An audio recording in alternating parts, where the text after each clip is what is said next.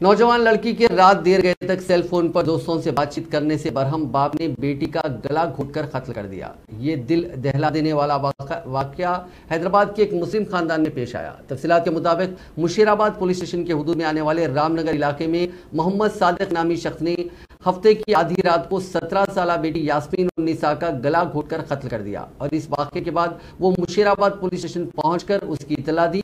Police ने लाश को पोस्टमार्टम के लिए गांधी हॉस्पिटल मुंतकिल किया। मोहम्मद सादक ने बताया कि उसकी बेटी रात देर गए तक सेल फ़ोन पर बातचीत करती थी। कई मरतबा उसे अपनी हरकत से बाज आने का मशवरा दिया था, लेकिन उसके रवैये में कोई तब्दीली नहीं आई, जिस पर वो बरहमी के आलम में लड़की का कत्ल कर दिया।